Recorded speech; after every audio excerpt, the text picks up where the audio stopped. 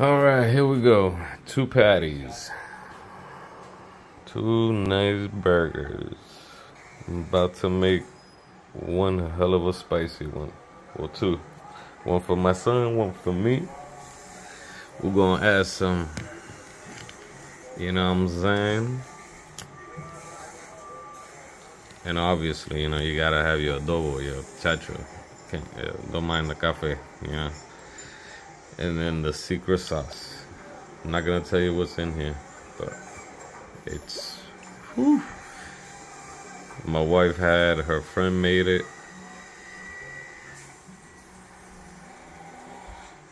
Cha cha, it's spicy, spicy. Yeah, don't don't.